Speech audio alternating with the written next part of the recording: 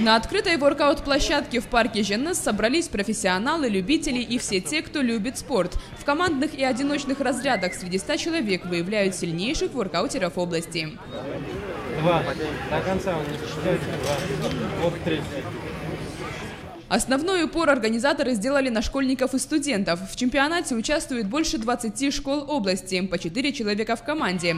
Юным спортсменам необходимо выполнить упражнения по нескольким дисциплинам. Это подтягивание, отжимание на брусьях и от пола и упражнения на пресс. Такими соревнованиями организаторы планируют привлечь больше молодежи к активному образу жизни чтобы э, объединить нашу молодежь. Во-первых, они чтобы находили новых друзей. И мы сегодня организовали данную такую патриотическую акцию, чемпионат именно на, под названием «Аброй Мендет Ерлик» стрит-воркаут.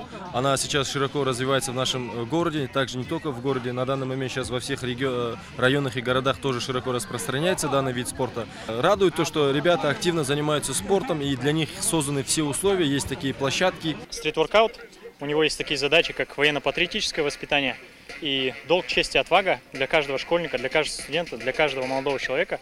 Это очень важная вещь. Э, на сегодняшний день э, наша молодежь не, не такие сильные э, физически.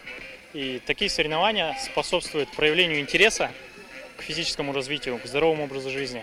На чемпионат приехали участники из Сайрамского, Тюлькубасского и Мактаральского районов области. Особенностью этих соревнований стало отсутствие зрителей. Все ребята принимают непосредственное участие, иногда преодолевая себя и падая без сил.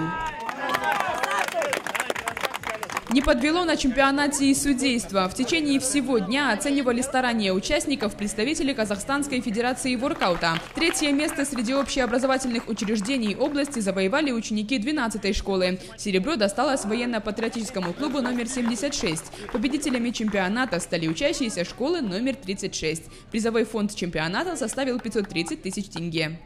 Мы очень счастливы. В прошлый раз э, было очень сложно, потому что были сильные соперники, было сильное соперничество. Ну, эти соревнования от прошлых отличаются тем, что сейчас больше людей, больше школ. Вот встретили новых ребят, познакомились.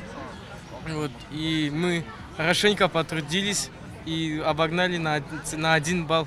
В этом году движению стрит-воркаут в Южном Казахстане исполняется 5 лет. В Шимкенте сегодня действует 7 воркаут-площадок, две из которых крытые.